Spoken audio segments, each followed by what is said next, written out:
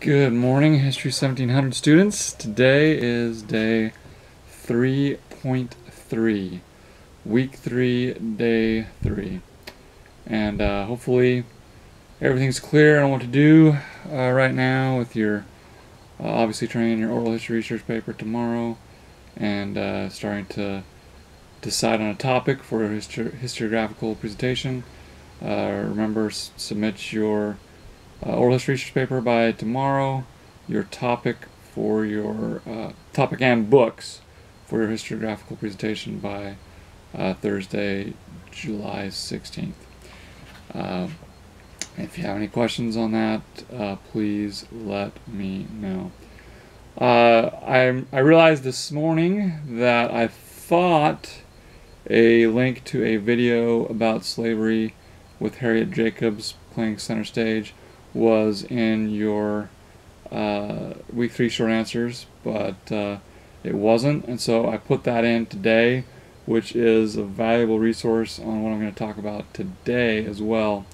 Uh, that video, like I said, Harriet Jacobs is the one of the central characters in that video uh, about slavery. is about 50 minutes long, and uh, also at the end of the video, about for last 15 minutes of the video it uh, does a great job of showing the events leading up to the Civil War. And so that's why I post that today because it is a great resource for yesterday's topic of slavery and today's topic of secession. So I'm sorry that wasn't there previously. I, I thought it was on there. I, uh, I should have looked better, but uh, it is on there now.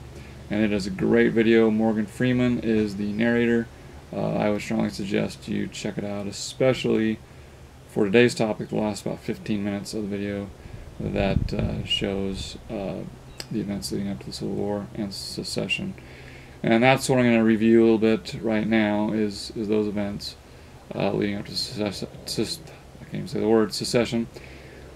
Um, if you remember our our talk about how the Constitution treated slavery, uh, there was the Three Fifth Compromise, where you know, uh, uh, for for congressional representation, slaves were three fifths of a person, but also in there it didn't mention uh, slaves or slavery. It was other persons or servants, you know, stuff like that.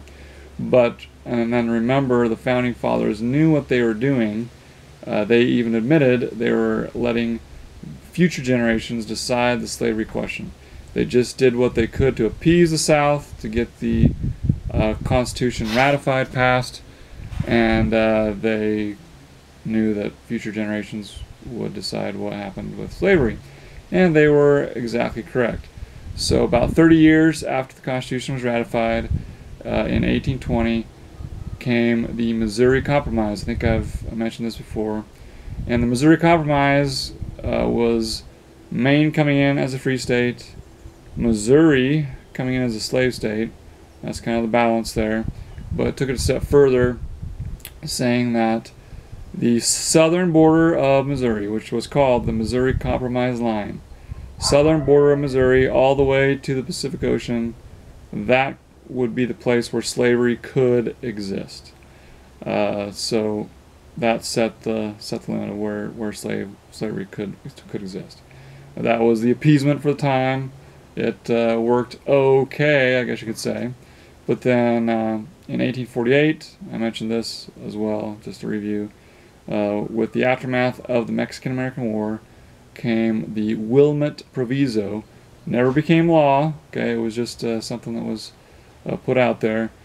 Uh, it said that there would be no slavery in the lands acquired from Mexico again in the in the aftermath of the Mexican American War. Never passed uh, but raised those sectional tensions again.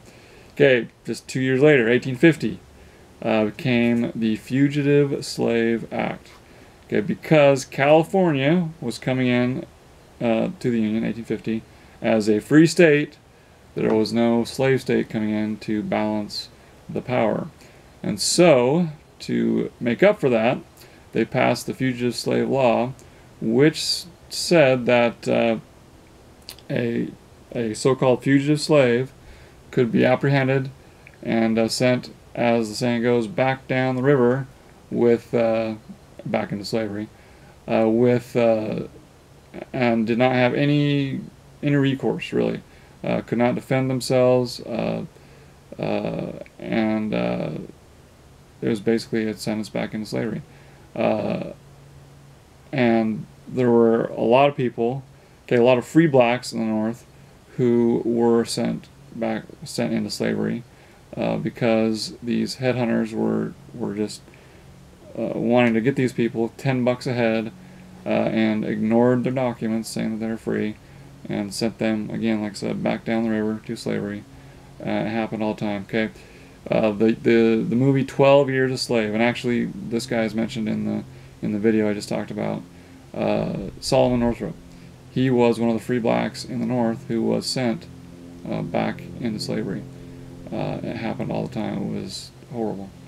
Uh, the next next thing that happened was the uh, Kansas-Nebraska Act, 1854, which nullified the Missouri Compromise and said that states coming into the Union uh, had the choice whether they would be slave states or free states. And this caused some tension because, uh, especially in Kansas, you know, it's, it's called Bleeding Kansas. You know, there was one group who was pro-slavery in Kansas, one group who was anti-slavery in Kansas and uh, each wrote their own constitutions. Uh, and it came to a head in 1856 with uh, John Brown, the fiery abolitionist, uh, just hacking uh, uh, pro-slavery pro-slavery groups, pro-slavery people, I should I should say. and that was called Bleeding Kansas, 1856, and some historians say that that is the real start of the Civil War. Uh, Kansas eventually came in as a free state, uh, just just a note. But uh, that again, that act said that uh, slaves could decide whether they came in as free or or uh, slave states. So kind of interesting there. Uh, three years later, 1857, the Dred Scott decision, Supreme Court decision. This Dred Scott decision, just a quick background.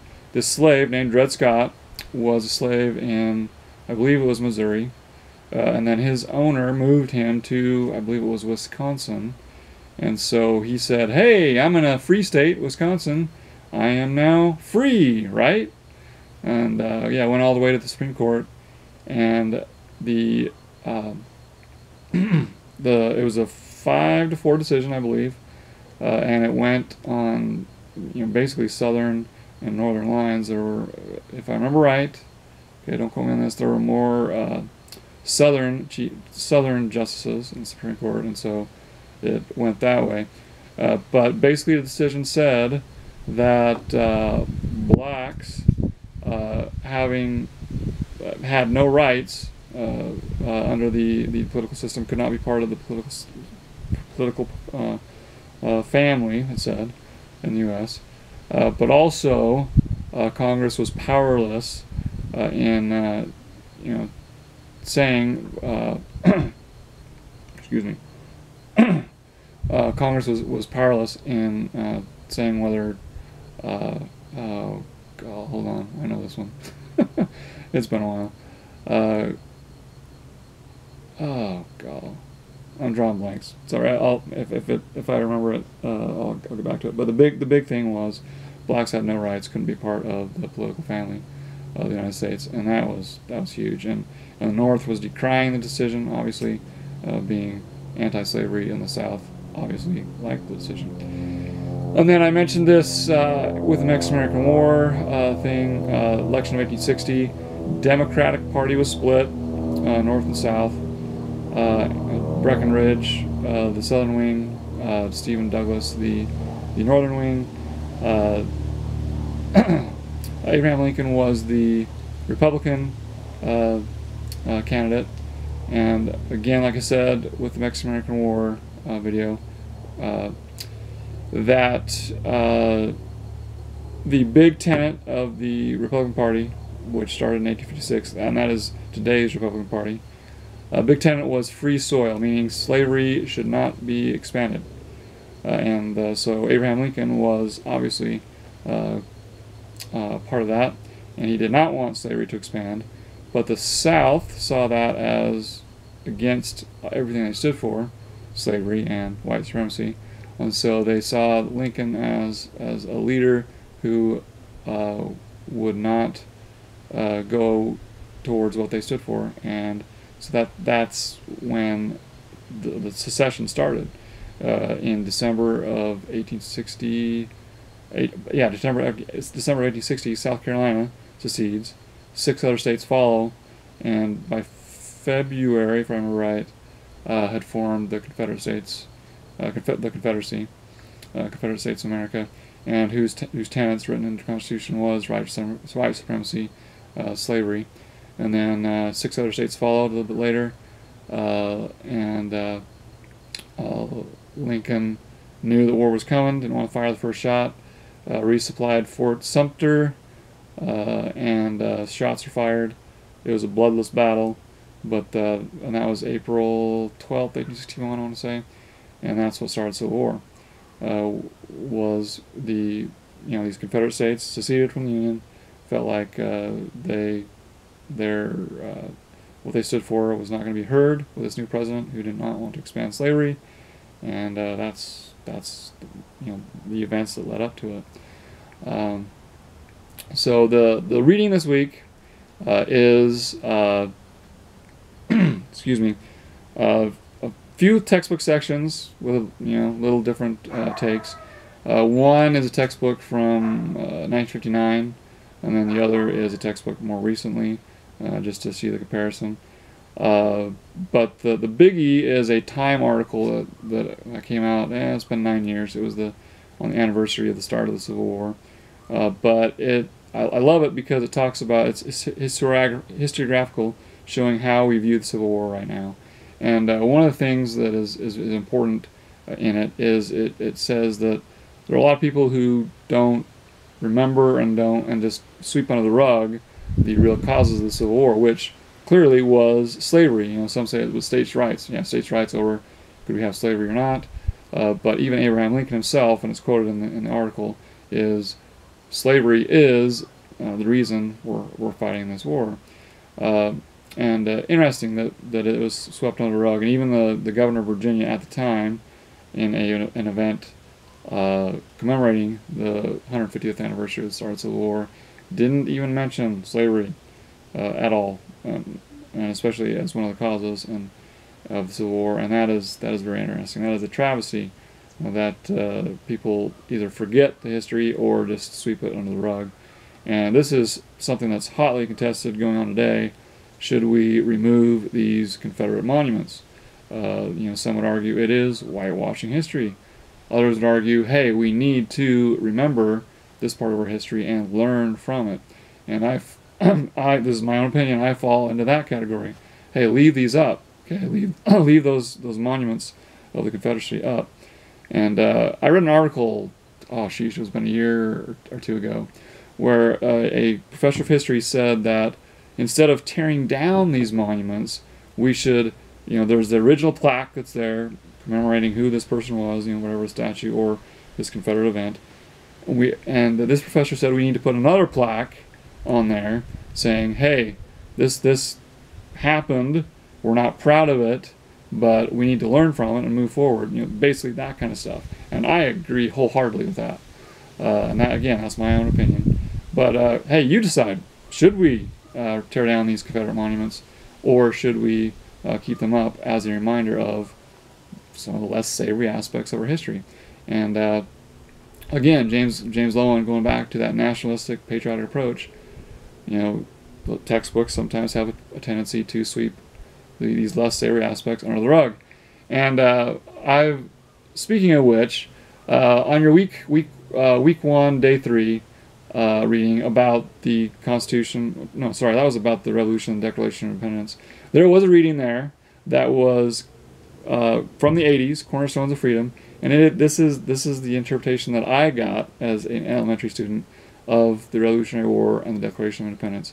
It is a dripping patriotic, uh, uh nationalistic approach, and uh, I forgot to uh, give you a preview of that reading, and I put that reading in there uh, specifically because it was that nationalistic patriotic approach that that uh, James Loewen was was uh, saying in his his book, and I forgot to uh, uh, mention that that that is the whole purpose that I the whole reason that I put it in there. So I apologize for that. I've I've gotten a few uh, people saying, "Why do you have that source in there?" Well, that's why, and I forgot to to mention why I had it in there. So just just a note, okay, just a note.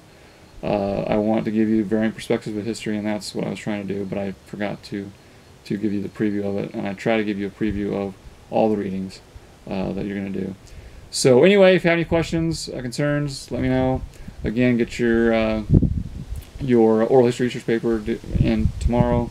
Uh, get your historical topics and books, historiographical presentation topic and books by next Thursday, and then obviously your regular short answers and discussion board uh, tomorrow as well. I will be.